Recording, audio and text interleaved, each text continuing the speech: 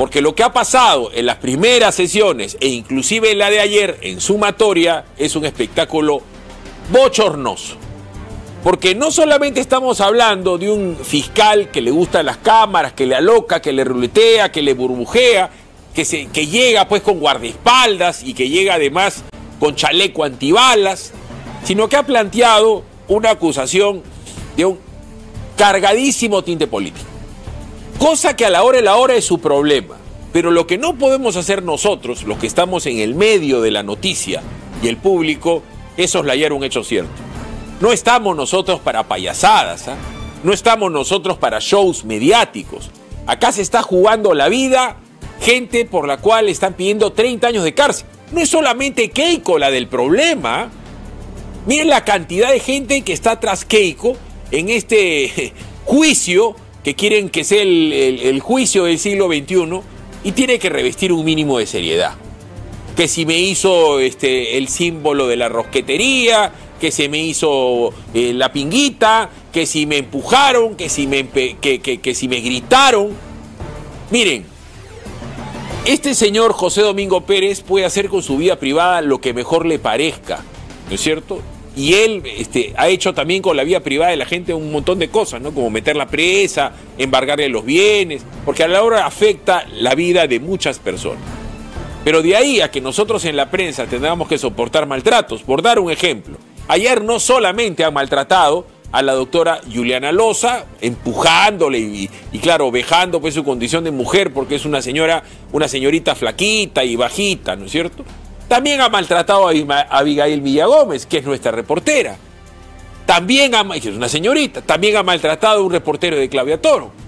Entonces, los que estamos en el medio de esto, no tenemos por qué soportar eso. ¿no? Y la opinión pública tiene que darse cuenta ante qué estamos, muy al margen que Keiko te caiga bien, mal o regular. Resulta que en días previos, el doctor Humberto Abanto cachosamente hizo un gesto con la mano, que si es por aquí, que por allá, por acullá. Y Yuli Loza lo mismo. Entonces, eso debería haber quedado ahí, como muchísimas cosas que ha hecho y ha dicho el señor José Domingo Pérez. ¿ya? Pero no ha quedado ahí, sino que lo ha llevado a la escena este, de la judicatura. Entonces los jueces van a tener que ponerse a ver qué, gesto hace José Domingo Pérez cuando José Domingo Pérez te apunta con el dedo. Van a decir ahora los fujimoristas, me está haciendo, con el perdón de la expresión señoras, pinguita. ¿No es cierto? Porque te hace así con el dedito. Y el otro la sigla de Acanga, entonces hay que hacer un curso de idioma gestual, ¿no? Porque si me miró de manera intimidante, ahora José Domingo Pérez evalúa la mirada de Keiko, ¿no es cierto? Entonces van a decir, me miró con desprecio. Y esto va a ser el show de todos los días. El día de ayer inclusive, un testigo que no recuerdo el nombre, sale de un sitio con el torso desnudo. O sea, el señor sale medio calato.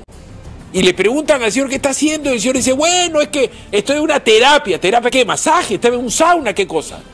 Entonces, claro, eso es lo anecdótico. Esto recién comienza. Miren todo lo que tenemos que soportar. Esta es la nota de Will Noticias al respecto. Fue una audiencia protagonizada por quejas y hasta un torso desnudo. Ponga su, pantalla donde se le ve el rostro, por favor, se le ve su cuerpo. El acusado que se ha presentado está con el torso desnudo. Creo que el colegiado debe demandar respeto. Este fue el tercer día de audiencia del juicio oral contra Keiko Fujimori y Fuerza Popular por el caso Cócteles. Los alegatos del fiscal Domingo Pérez fueron precedidos por un pedido de sanción a los abogados de Fujimori y Jaime Yoshiyama. Pérez señaló que ambos habrían realizado gestos obscenos durante la audiencia pasada. Realizan estos gestos obscenos con la complacencia y afirmación positiva de la acusada Keiko Fujimori. No, es una falta de respeto a quien representa a la sociedad en este momento agraviada por el delito. No es una falta de respeto solamente a ustedes que en este momento están dirigiendo este juzgamiento. Es una falta de respeto al público. Algo que fue rechazado por la abogada Juliana Loza. Pero cuando pensábamos que iniciaría el alegato del fiscal, un personaje con el torso desnudo se asomó en la sesión virtual. Ponga su, pantalla donde se le ve el rostro, por favor, se le ve su cuerpo. Pero además, José Domingo Pérez insiste que hay una campaña en su contra y lo que. Pero el hecho cierto que lo que hemos visto, una no es una interpretación que si me miró, que si, que si me señaló, es que a Yuriana Loza, que es una señorita, como ustedes saben, menudita, mujer, la agarraron en pellones en la puerta de, ¿cómo se llama?, de la, del, del Poder Judicial. Y era gente que estaba aplaudiendo a José Domingo Pérez, que yo podría atribuir que es una portátil contratada por José Domingo Pérez o su familia o sus amigos para empujar a gente, repito, también ha maltratado a Abigail, Abigail Villagómez, nuestra reportera, y a un reportero de Claudia Toro. O sea, lo único que falta es que vaya Claudia Toro y también la agarra en peón. Y en ese orden de cosas, bueno, yo felicito al Colegio de Abogados de Lima. Porque el Colegio de Abogados tiene que defender a los abogados, a todos, a todos los abogados. Los abogados que defienden a Keiko, los abogados que defienden a Antauro, los abogados que defienden a Ullantumala, los que defienden a PPK, los que defienden a Alan García. Porque el abogado aboga. El abogado no tiene por qué estar expuesto a que lo maltraten, como hace poco tiempo hicieron con el doctor Humberto Abad. No puede ser posible, porque si no, pues tendría que estar acá Imagínense si cada uno tuviese que estar solicitando garantías contra su vida y tengamos que nosotros destacar personaje, eh, personal policial para cada abogado, de cada causa. Sería una locura, no alcanzaría la Policía Nacional. El Colegio de Abogados rechaza agresiones a Juliana Loza, por favor en full. El Colegio de Abogados de Lima rechaza los actos violentos en contra de la doctora Juliana Loza Ábalos, abogada de la señora Keiko Fujimori, quien a la salida de la audiencia del juicio oral celebrado el día de hoy, es decir, ayer, el 9 de julio, por el caso Coctel, fue perseguida y agredida físicamente por manifestantes, causándole hematomas en diferentes partes del cuerpo. En este sentido, la Junta Directiva del CAL exhorta al ministro del Interior, Juan José Santibáñez, a dotar de efectivos policiales alrededor de los ambientes donde los profesionales del derecho ejercen su función a fin de preservar su integridad física, psicológica y emotiva para el debido ejercicio de la, de la defensa. Y seguramente algunas otras organizaciones, digo yo, de derecho a la defensa de, de las mujeres, inclusive la Defensoría del Pueblo, tiene que estar del lado del Colegio de Abogados en la protección en los lugares aledaños y tomar medidas para que no estén empujando ni maltratando a la gente. A nadie porque no todo el mundo tiene la corona de José Domingo Pérez, que llega con chaleco antibalas, cinco guardaespaldas, cordón de seguridad, carro blindado.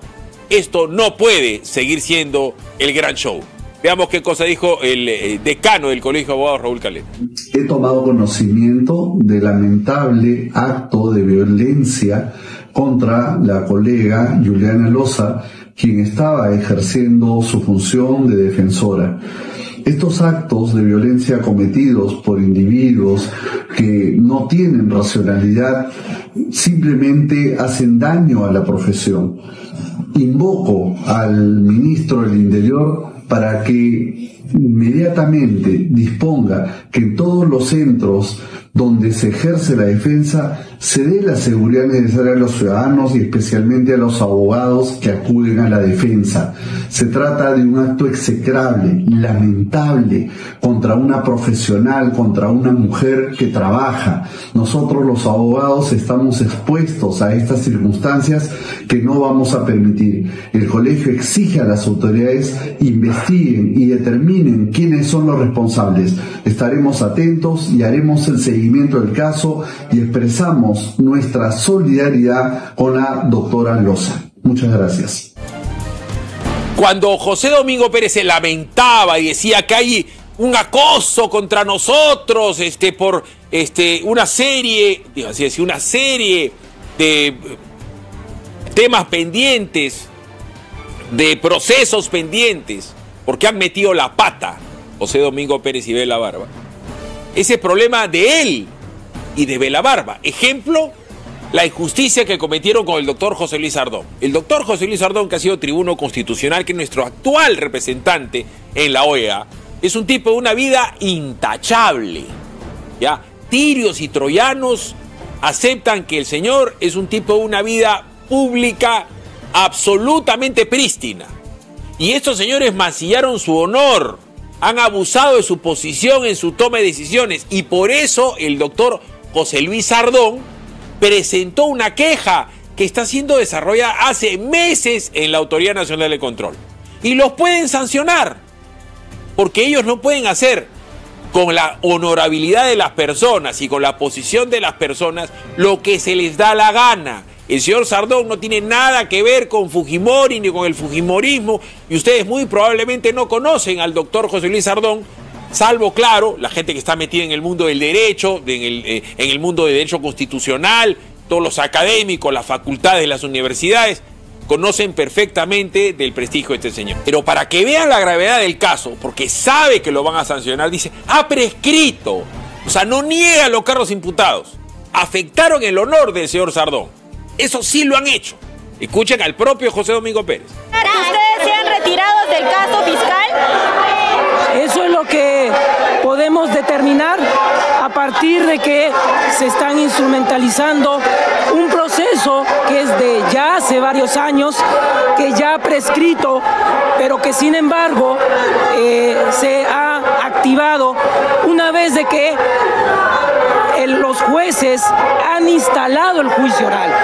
Y quiero denunciar públicamente una campaña externa de desacreditación, de legitimación hacia los fiscales Rafael Vela y hacia sumado a la presión interna que implica estos procesos disciplinarios, lo que buscan es afectar la autonomía e independencia del Ministerio Público. En suspendan o no lo suspendan al fiscal Rafael Vela, continuaré con la sustentación de la acusación. Como ustedes han podido advertir, esta va a continuar mañana de manera virtual y la siguiente semana con las defensas. Y miren, para que vean, ¿ya? Esto de que han activado el caso es falso. El caso siempre ha seguido en la Autoridad Nacional de Control. No es que ha sido activado porque él ha comenzado a trabajar antes de ayer en la acusación. Eso es mentira. El caso tiene larga data, por eso él alega pues, que hay prescripción.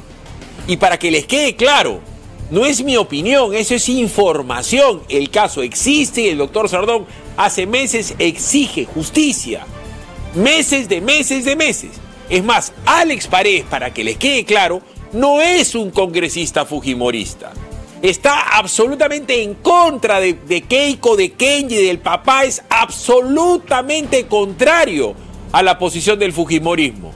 Pero como un hombre con dos dedos de frente se pregunta si este señor está haciendo un show para tener él, él un futuro político. Recordemos que él se ha querido salir de juez, de fiscal, ha querido ir a ser juez y lo han jalado en el examen.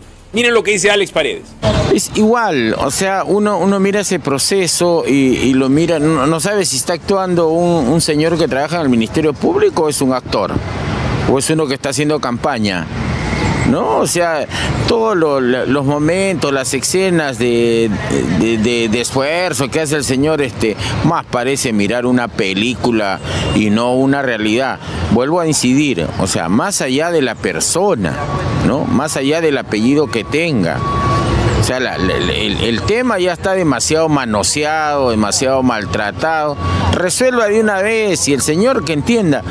O sea, haga las cosas como profesional y, y, ojalá, como ya lo han dicho muchos, ¿no? Este, mañana no aparezca en la vereda política, termine su trabajo, no creo que cobardemente, ¿no? Deje el cargo bajo amenazas, etcétera, porque este tipo de personajes son así, ¿no? Se hacen víctimas y, y después aparecen este, como Robin Hood. Reitero, este señor de Fujimorista no tiene un pelo. Ha, ha llegado de, Perú Libre, ahora está en la bancada magisterial y ahora creo que ha hecho una tercera bancada. O sea, para Colbe del Sute, comunista, ¿ya? para que le quede claro. Enemigo político de Keiko Fujimori. Lo sustancial es si estos señores tienen caso o no tienen caso. A esta hora de la mañana ratifico, nosotros estamos en el medio de la noticia, por eso somos un medio de comunicación. Pero lo trascendente es si el señor José Domingo Pérez y Velara tienen un caso o no lo tienen. Ese es el punto. Y el día de ayer en MEL, Milagros eh, Leiva, entrevista, Juliana Loza dijo lo siguiente. Mi primera reacción hoy día evidentemente fue mi seguridad y la de mi familia, Milagros. Uh -huh. Lo primero que pensé hoy día, porque fue muy, muy fuerte lo que ha pasado hoy día, no se lo deseo absolutamente a nadie, mi primera reacción era que sea virtual, porque no hay garantías. He conversado con Keiko hoy día y nosotros vamos a ir presencialmente pidiendo las garantías del caso el día lunes a mi exposición. Bueno, eso Porque consideramos tiene por ocurrir, igualdad, por igualdad de armas, rogamos que se tomen las medidas del caso, así como le dan seguridad al fiscal, que den seguridad a todos los que concurrimos. De acuerdo. Hoy soy, he sido yo. Mañana puede ser otro fiscal, O- Dios no o- o quiera, otro abogado. un abogado, unos jueces, O la un violencia para nadie, para nadie violencia no podemos mi- milagro, yo puedo discrepar de una persona, puedo no simpatizar Sí, de una no, persona. no, estoy de acuerdo, pero doctora, pero nadie tiene por qué agredir. Tengo que terminar, solo esta pregunta final y si me la puede contestar en una línea. ¿Qué le dice Keiko cada vez que van a, a las audiencias? ¿Qué le dice de toda esta historia de los cócteles? Mira, la última pregunta que me estaba diciendo es ¿en qué momento va va a dejar de ah, o sea, va- en qué momento va a decirnos algo jurídico penal? De lo poco que entiendo, está hablando de mi padre, del Congreso, de cosas políticas, entonces O sea, esperábamos que le den la prueba de su culpabilidad. al menos anúnciala. ¿Qué tienes para tú pedir 30 años de prisión? En est- a este momento no hay absolutamente nada de eso. Lo único que nosotros pedimos, Milagros, es que los magistrados resuelvan en base a lo que se va a actuar en Sí, el claro. juicio y de manera imparcial. Quiero terminar con esto, Milagros, si me lo permites. Sí, Dejemos de lado actos de violencia, pero sí digo firmemente, si estas personas han pretendido con esto amedrentarme, querer apartarme de la defensa de la señora Fujimori, les digo, no les va a funcionar.